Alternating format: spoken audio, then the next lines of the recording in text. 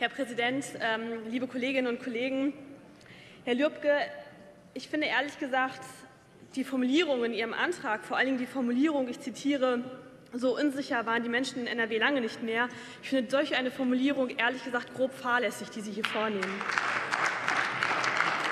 Grob fahrlässig deshalb, grob fahrlässig deshalb, weil es jeglicher Grundlage entbehrt und auch keinem Faktencheck standhält.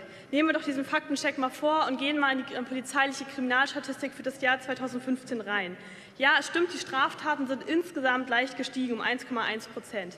Aber wenn man sich die Straftaten anguckt, Straftaten gegen das Leben, also Mord, Totschlag, sind um 6,2 Prozent gesunken. Das ist der niedrigste Stand seit 20 Jahren. Straftaten gegen die sexuelle Selbstbestimmung sind um 2,9 Prozent gesunken.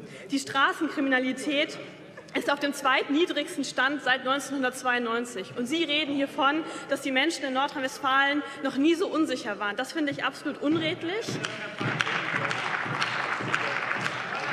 Und das finde ich nicht nur unredlich, das ist falsch, das schürt Ängste, das schürt Unsicherheit, das ist faktenfrei.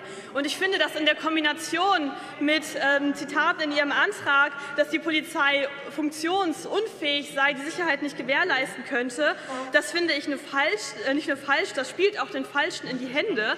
Und bei aller klaren Benennung von Problemen, von Herausforderungen, die wir in der Innenpolitik haben, wo wir darüber diskutieren müssen, das ist Ihre Aufgabe als Opposition, das anzuzeigen. Das ist auch unsere Aufgabe als Parlament Parlament darüber zu diskutieren. Ja, das gestehe ich Ihnen zu. Aber Herr ein Kollegin, Diskurs. Eine Zwischenfrage.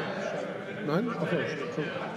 Hat sich erledigt, Entschuldigung, Fehlerland. Ich finde, so einen Diskurs zu befeuern in einer aktuellen Situation, ein Diskurs, ein Diskurs darüber, dass angeblich der Rechtsstaat nicht handlungsfähig sei, ähm, dass das Gewaltmonopol nicht durchzusetzen sei, das finde ich ehrlich gesagt wirklich fahrlässig, das finde ich gefährlich. Und da würde ich Sie bitten, auch von so einem Populismus abzusehen, sondern wieder auf die Grundlage der Realität zurückzukommen. Ja, ich rede hier im Übrigen über die Realität. Das wird mir ja hier reingerufen.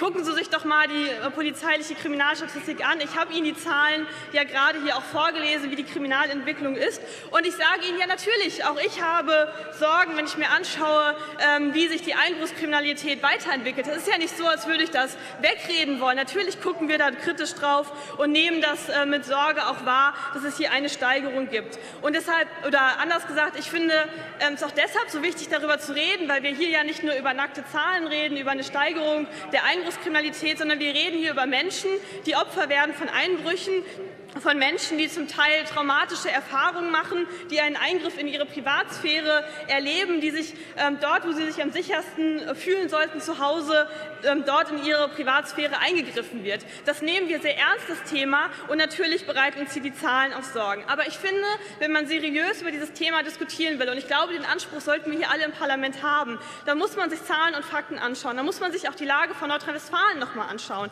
In Nordrhein-Westfalen befindet sich mit der Metropole Metropolregion Rhein-Ruhr die bevölkerungsreichste Region in Deutschland. Hier gibt es ein gut ausgebautes ähm, Autobahnnetz, was natürlich schnelle Fluchtwege, schnelle Reisewege ermöglicht.